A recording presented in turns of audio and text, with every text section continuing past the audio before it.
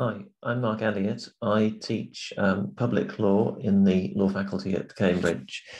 And I'm going to talk to you today about uh, constitutional law. So constitutional law is one of the subjects that you would uh, do in your uh, first year at Cambridge. Um, and indeed, it's, it's a subject that, that, that most universities teach to their um, first year law students. Now, when we think of a constitution, we might immediately think of a country like um, America, where there's a, a, document called the Constitution. And of course, in the UK, we don't have anything like that. And that uh, leads some people to, to wonder uh, whether or not we have a constitution in the UK. And that's really the question that I want to explore today. Do we have a constitution in Britain? And if we do, and I'll try to show you that we, we do, what kind of constitution is it? And importantly, how is it different from the kinds of things that we might think about when we think about a constitution? So to begin with, um, let's think about um, what constitutions actually do. Now, there are many different jobs that a constitution uh, does, and there are many different things that we might want um, a constitution to do. But essentially, what they do is to lay down the ground rules for how a country works. The constitution provides an opportunity for the people of a country, at least in a democracy, to say, okay, here is how we want to be governed. Here's how we want to organize our society, our system of government, and our system of law. In doing that, a constitution will generally allocate power. It will set up a legislature to make the law. It will set up a government to run the country, a system of courts to adjudicate on legal disputes. And the constitution will give authority to those different institutions. And in general, it will also limit their authority. It will uh, allow them to do certain things, but it will draw certain lines and it will stop them from interfering, for example, uh, in certain aspects of people's lives. We would also expect a constitution to tell us something about the basic values of the society concerned. We might, for example, look to see whether the constitution has things to say about democracy and the rule of law. If it does, that will be telling. And equally, if it doesn't, that will be telling. Of course, there might be all kinds of things about democracy and the rule of law and so on in a constitution, and the lived reality of people in that country might be different. But if a society uh, intends to base itself on these values, then at least as a starting point, we would expect to see them reflected in the Constitution. We might also expect, at least in most countries, to see fundamental rights reflected in the Constitution. I mentioned earlier that constitutions allocate and limit state power. One of the ways in which many constitutions limit the power of the state is by saying that there are certain fundamental rights that the state isn't allowed to interfere with. Certain laws, for example, that the government or the parliament cannot make lawfully uh, because to do so would be to interfere with the fundamental rights of citizens. Now, when we look at a country like the uh, US, uh, we do, in fact, find uh, that uh, we have a constitution that, that does these things. First and foremost, we have a text, something we can actually physically see or get hold of, a written constitutional document that sets out those ground rules that create the institutions of government and that confers power on them and limits their powers. The US Constitution also affords protection to fundamental rights because contained within the Constitution is a Bill of Rights that sets out the basic rights of the individuals and which prevents the state, including lawmakers, from interfering with those rights. If that happens, the matter can be taken to court, and ultimately, laws can be struck down if they breach uh, fundamental rights as set out in the Constitution. In the slide, you'll see that I've referred to the Bill of Rights as an entrenched Bill of Rights. And what I mean by that is that it's something that can't easily be taken away or diluted or interfered with because it is part of the Constitution. And generally speaking, we would expect constitutions to be relatively difficult to change. You might need to have a special majority. You might need to have the support of the public. It would depend on the particular country concerned.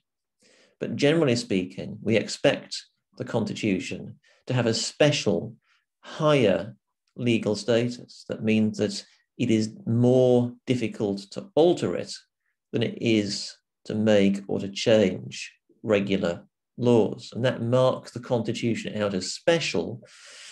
And it means that the Constitution can operate to actually um, sort of lay down values, principles, ways of doing things, which are there for the long term and that can't just be got rid of just because a particular government, for example, doesn't entirely agree with them.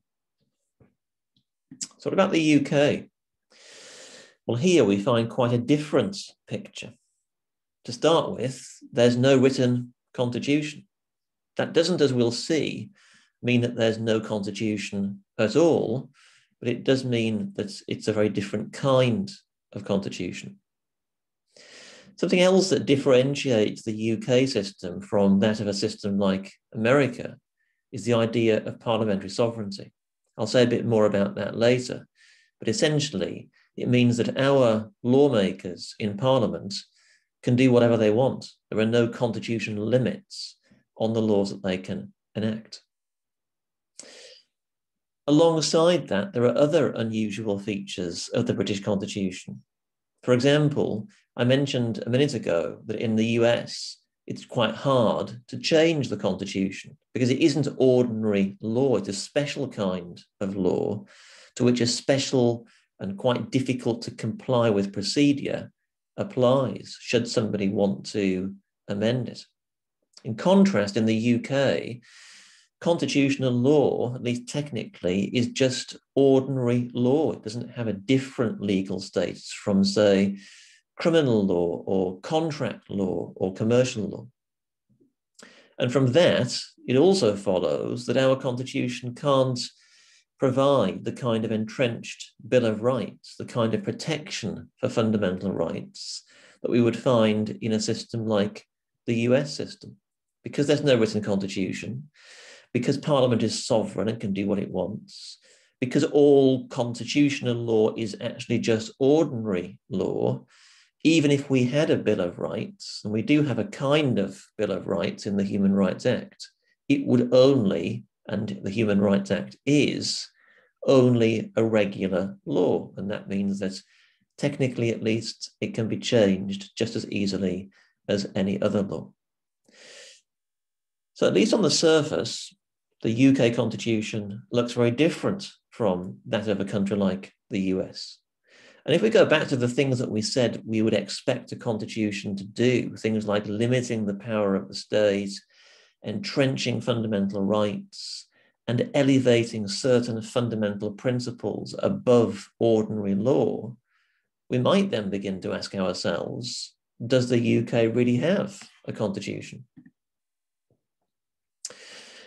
Well, having set out that background, what I want to spend the rest of this talk doing is really asking whether, in spite of those sort of superficial differences, whether the UK really is so different. So I want to do that by asking what does it really mean to have an unwritten constitution? Is Parliament's power really unlimited? Can the UK constitution not protect fundamental rights? And does constitutional law here not really have any kind of special status. What we'll see is that the answers to these questions are nuanced, and that while it certainly leaves us with the uh, impression and the accurate impression, I would say, that the British Constitution is quite different from the constitutions of many other countries. The differences are not as great as they at first appear once we understand them. And they certainly aren't so great as to require us to conclude that the UK doesn't have a constitution. It does have a constitution. It's just rather an unusual one. Now, just to take that idea a little bit further, I want to draw a distinction between what we might call hierarchical and flat constitutions. And this reflects a point that I made uh, a couple of minutes ago. If we think about a system like America, we would call that a hierarchical constitutional system. Right at the apex of that constitutional pyramid, if you like, is constitutional law. It's at the apex of the system. And essentially, everything else has to fit around that. If lawmakers try to make laws that are inconsistent with the Constitution, whether that's because they breach the Bill of Rights or because they're incompatible with some other aspect of the Constitution, if lawmakers do that, then they act unlawfully. They exceed their constitutional powers, and ultimately a court can step in and can correct that. It can strike down or quash the law which has been made in breach of the Constitution. In contrast, for the reasons that I've just mentioned, we might think of the UK system as a flat system. Rather than there being a pyramid with constitutional law at the top, we have a much sort of flatter structure whereby constitutional law simply sits alongside and in terms of its legal status is no different from and isn't superior to ordinary law, other kinds of law, like I said, criminal, commercial, contract, uh, whatever else, uh, other, whatever other kinds of law we might choose to think of. And that makes a significant difference because a lot of the things that we expect constitutions to do, they do because constitutional law has this special status because it sits at the top of the pyramid, as it were. If that's not possible, constitutional law doesn't have that special status, as it doesn't, uh, generally speaking, in the UK, then that means we've got to think again about how the constitution works. Another important part of the jigsaw when we're trying to understand how the British Constitution works is this idea of parliamentary sovereignty. So, writing over 100 years ago, Professor um, Albert Venn Dicey, uh, who was a, a leading and very influential uh, writer on the British Constitution, he defined parliamentary sovereignty uh, in this way. The sovereignty of Parliament, said Dicey, is, from a legal point of view, the dominant characteristic of our political institutions. The principle of parliamentary sovereignty means neither more nor less than this that Parliament has the right to make or unmake any law whatever, and that no person or body is recognized by the law of England as having the right to override or set aside the legislation of Parliament. So let's just pause and um, unpack this a little bit. What is Dicey telling us here about this idea of parliamentary sovereignty? Well, first, that it's important. It's the dominant characteristic, he says, of our political institutions. It's fundamental to understanding how our political and constitutional system actually works. What does it mean? Well, it means, he says, two things. And in a sense, these are two different sides of the one coin. First, it means that Parliament can make or unmake any law, whatever. In other words, there are no legal limits on the laws that Parliament can make. And then, second, that no person or body can override or set aside an act of Parliament. In other words, Parliament can do what it wants, that's the first point. And then, second, the other side of the coin is that nobody can stop Parliament legally from doing what it wants. That's obviously a very different picture then from the one that I painted at the beginning, both in terms of what we would expect constitutions to do. We said that we would expect them to limit the power of uh, the state, and yet here we seem to have an institution of the state, Parliament, which has the job of making law, that has unlimited power. And it's also a very different picture from the one that I drew of the American Constitution, where the Constitution sits at the apex of the system and the laws made by Congress have got to fit around it. And if the laws breach the constitution, then the laws are invalid. This seems to give Parliament a completely blank page. It seems to give Parliament the ability to do whatever it wants, including, presumably, um, going against fundamental values like democracy or the rule of law itself, and also interfering with taking away fundamental human rights. So, is this idea of parliamentary sovereignty, of one part of the state that seems to be entirely uncontrolled legally and uncontrollable legally, is that consistent with the idea of really having a constitution that does the kinds of things we said constitutions do, limiting power, protecting rights, entrenching fundamental values? Well, let's let's see. So far, we've been focusing on the law um, and on the idea that, as Dicey put it, uh, nobody has the legal right to override or set aside an act of parliament. But of course, that's only part of the picture. Because in the first place, parliament is a political institution. In order for a law to be made, it has to command the support of a majority in the House of Commons and usually a majority in the House of Lords. And so if we're trying to work out why uh, there aren't, um, you know, lots and lots of laws in this country uh, that um, interfere with basic rights and basic constitutional principles, then part of the answer, one would hope, is that the people who sit in Parliament, the MPs and the peers, uh, don't actually uh, want to make laws of that nature and know that if they tried to, they would face a very significant uh, public and political backlash. So, one of the reasons why constitutional values and basic rights are upheld is not so much because the law says they've got to be, but because we would hope that our political system delivers lawmakers and uh, political environment where it isn't uh, an easy or attractive thing to do to make laws that contravene those sorts of principles and values. To look a little bit more carefully at this idea of how politics can operate as a constraint and as something that upholds constitutional values and principles, I want to look uh, briefly at how uh, the Scottish uh, Parliament works in relation to devolution. So, just over 20 years ago now, um, the Scottish Parliament was created and devolution was introduced, which gives uh, Scotland a degree of self government.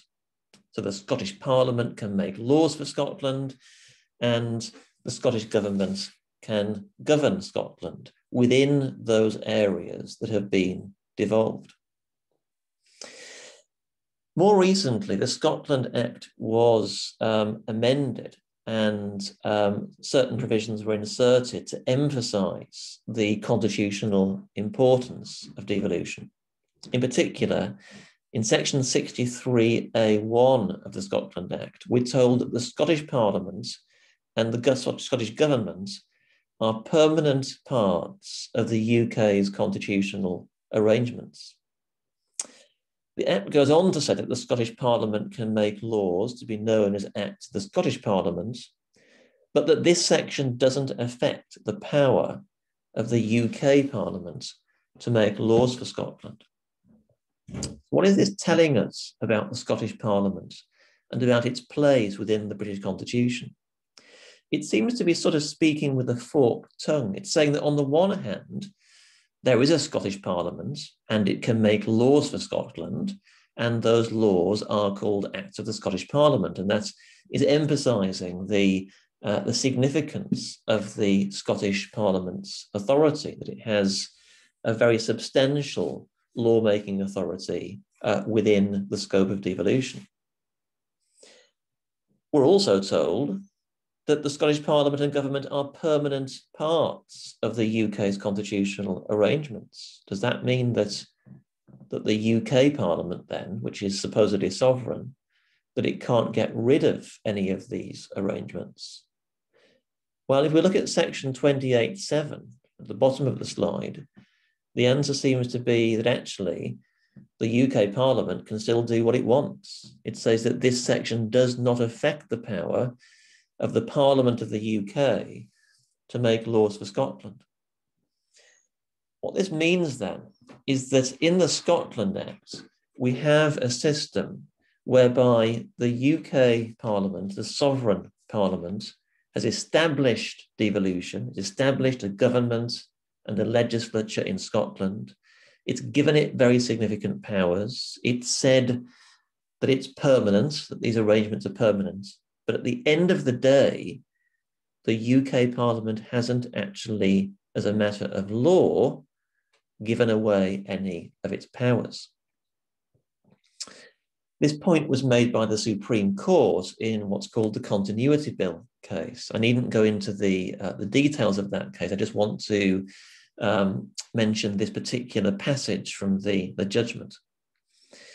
In this uh, case, the Supreme Court said that um, Section 28.7 of the Scotland Act, the last bit that we just looked at, makes it clear that even though um, legislative authority is given to the Scottish Parliament, the UK Parliament remains sovereign and its power in relation to Scotland is undiminished. This, said the Supreme Court, reflects the essence of devolution a system that preserves the powers of the central legislature of the state in relation to all matters. So, looked at in this way, what the UK Parliament has done is to share or lend some of its power to the Scottish Parliament, but it hasn't relinquished any of its power.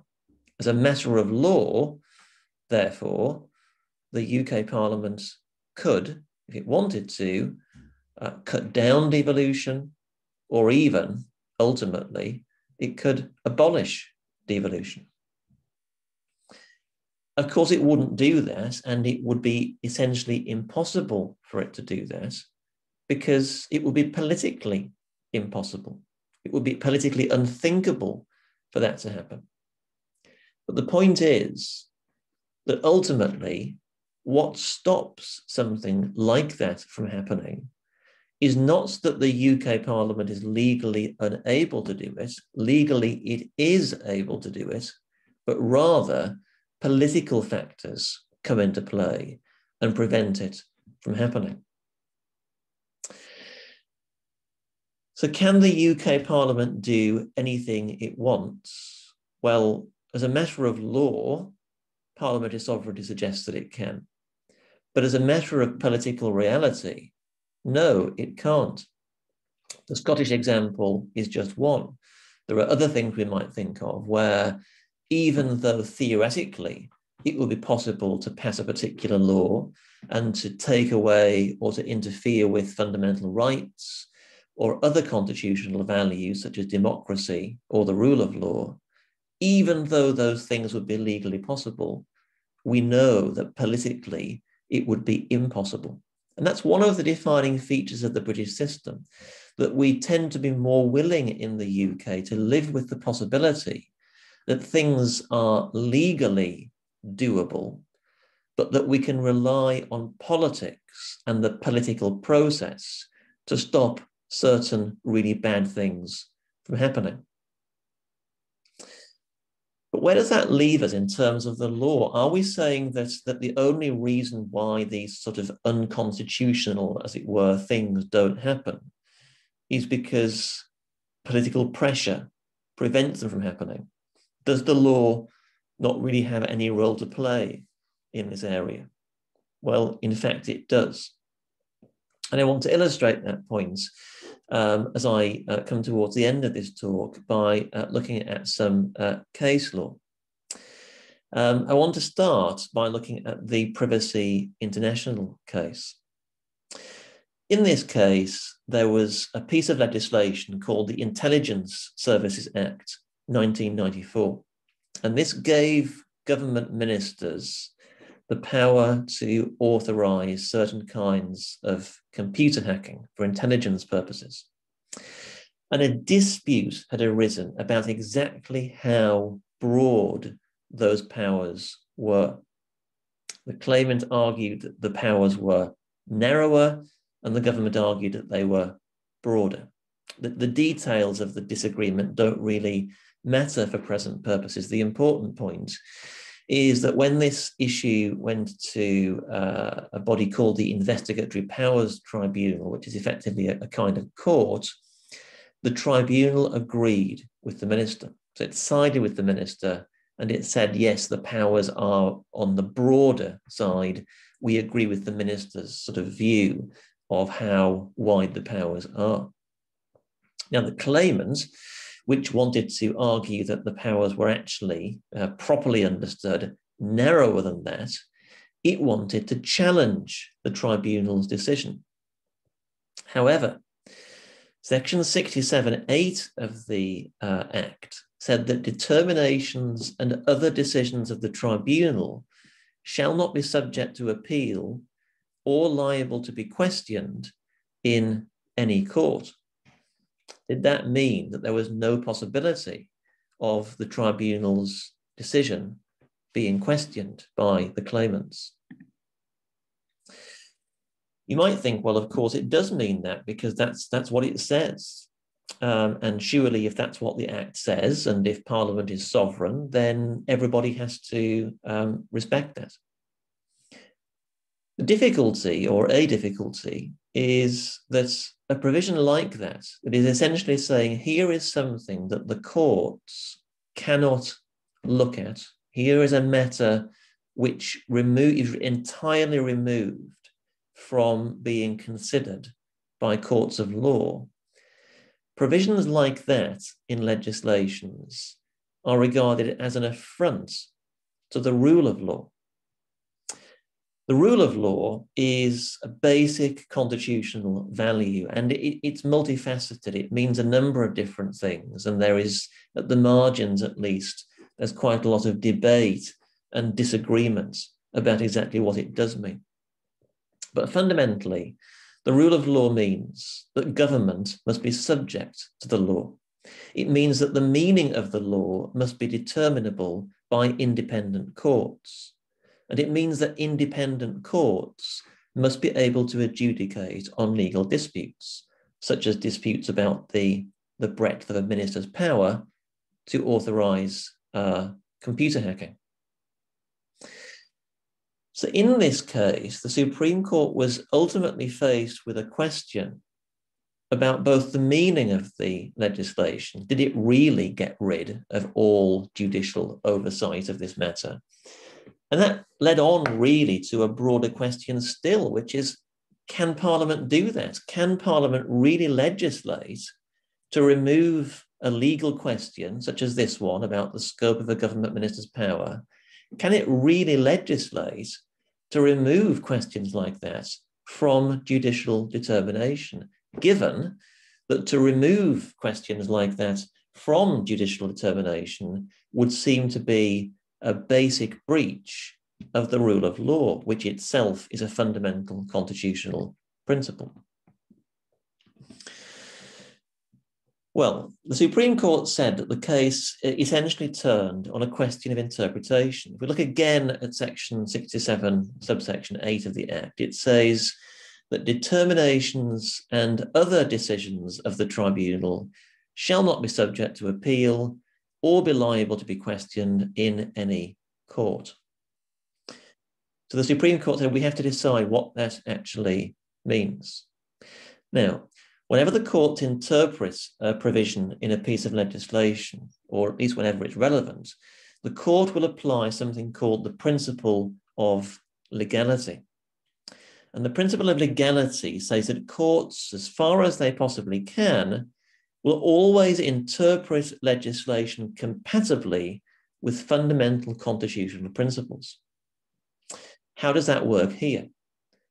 Well, if we gave section 67.8 of this act its sort of natural meaning, I guess we would say it means what it says on the tin. It means that courts just can't get involved. The difficulty is that that sort of natural or plain words interpretation of section 67.8 would be inconsistent with the rule of law because it would be shielding the decision of a government minister from judicial scrutiny. And so the court has to ask itself is there some other way that we can interpret this provision in a way that will protect the rule of law, at least to some extent? And the Supreme Court decided that there was. It held that Section 67 only protected legally valid determinations and decisions from judicial scrutiny. So that if the minister had made a legal error in terms, for example, of understanding the scope of her powers, then the court would be able to intervene. Now, that might suggest that the court is really rather stretching things. Is that really what Parliament meant? Didn't Parliament really mean to keep the courts out?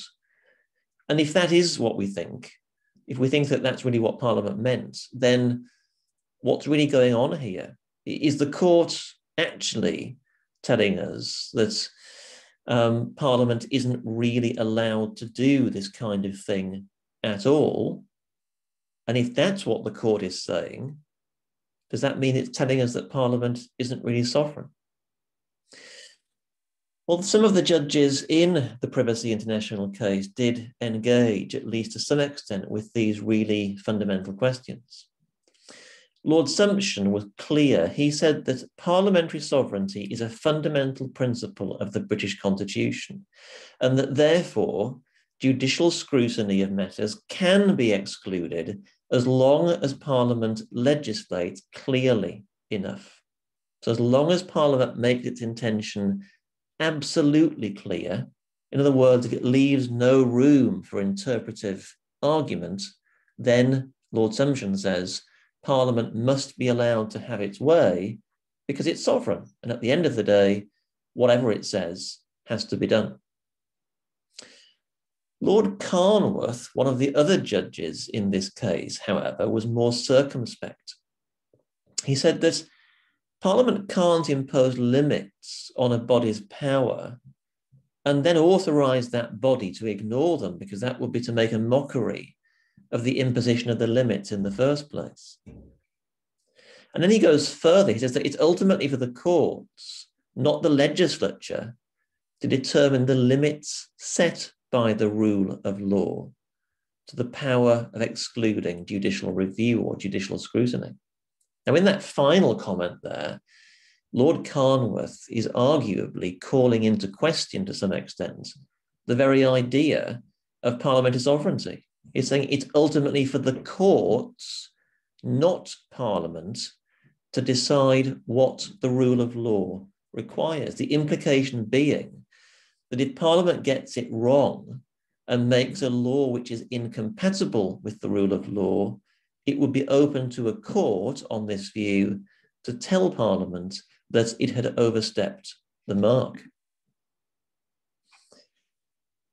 Now, it may seem odd that Parliament, that, that the court, rather, it may seem odd that the courts um, have these sorts of disagreements. We can see from uh, the judgments there of Lord Sumption and Lord Carnwath that they're not exactly in full agreement with each other. And that suggests that there is a, a basic sort of ambiguity at the heart of the British Constitution. Some things are clear, but some things aren't clear.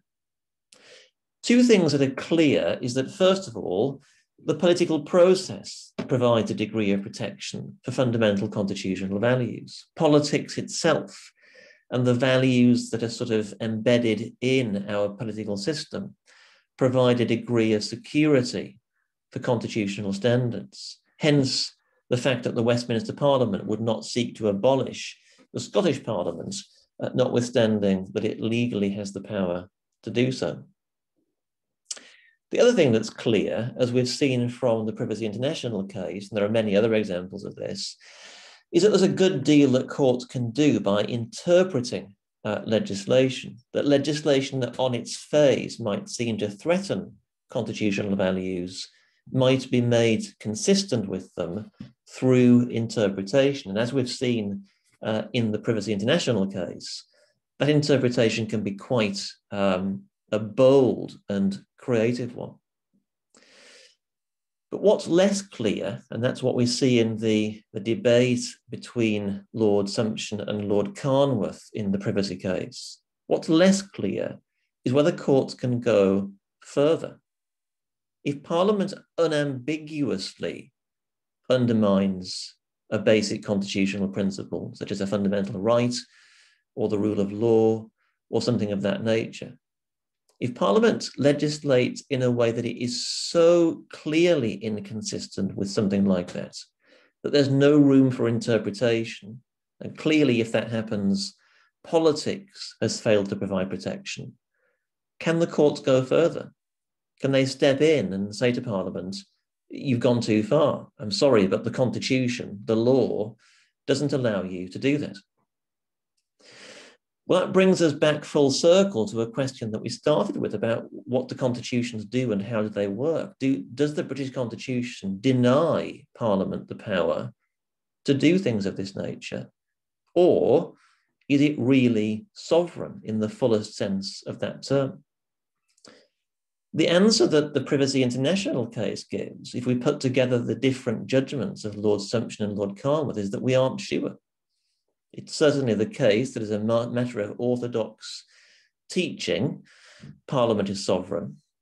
But it's also the case that we have judgments like Lord Carnwath, where we're told that actually it's for the courts to decide what the rule of law requires and whether or not Parliament can um, do something which infringes the rule of law.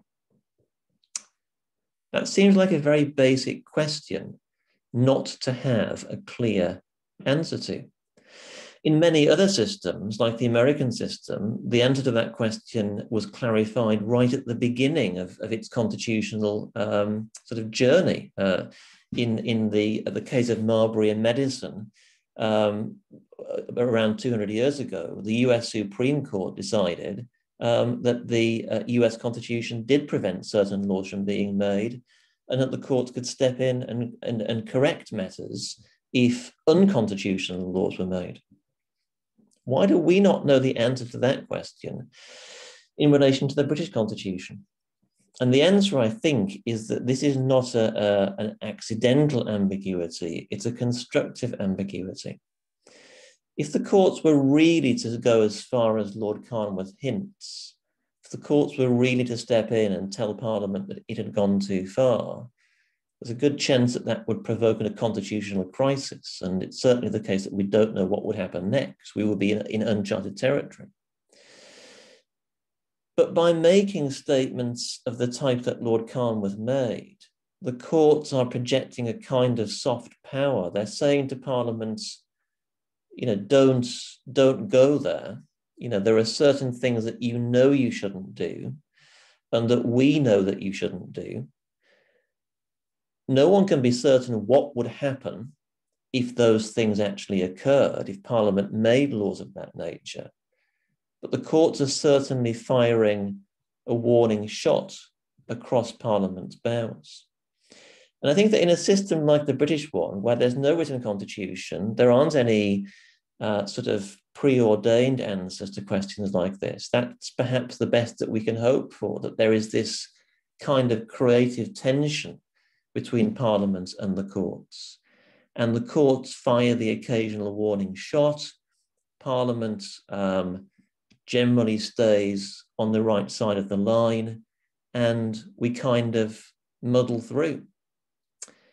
And that muddling through, or if you want to put it more positively, that sort of mutual respect or mutual fear that the different parts of the Constitution have for each other. That is a large part of how the Constitution works. So, what is it that protects fundamental values? Well, politics, judicial interpretation, but also this complicated relationship that we see between the different parts of the Constitution, where the very uncertainty about what might happen if somebody goes too far tends, on the whole, to stop people, whether that's lawmakers or indeed judges, from going too far. So, does the UK have a constitution? Well, yes, it certainly does have a constitution, as we've seen uh, in what we've been talking about today. But it's a very unusual kind of constitution. It isn't written down in the way that, say, the American Constitution is. It doesn't unambiguously limit the powers of the state in the way that a constitution uh, tends to do. And it doesn't straightforwardly place things like fundamental rights beyond any kind of legal interference. But at the same time, it does do many of the things that we would expect constitutions to do, albeit in rather different, more roundabout, and sometimes more subtle um, ways. And actually, I think that it is in that complexity and it's in that subtlety and sometimes the uncertainty that we find some of the interest of studying the British Constitution. So if you uh, if you come to Cambridge or if you uh, go to university uh, and you study constitutional law, uh, you certainly won't find that there are easy or neat answers to the questions that you'll be uh, looking at. Uh, but I think that you will find um, that there are really interesting questions to consider uh, and uh, really uh, rich uh, questions to, uh, to explore. Well, I hope that's whetted your appetite for constitutional law, um, and I hope that you enjoy the rest of the, the Cambridge Law Sixth Form Law Conference. It's been a pleasure to, to talk to you today. I'm sorry that we can't do this um, in person, but I hope that you've enjoyed it. Um, and I wish you all the best with the rest of the, the conference. Thank you.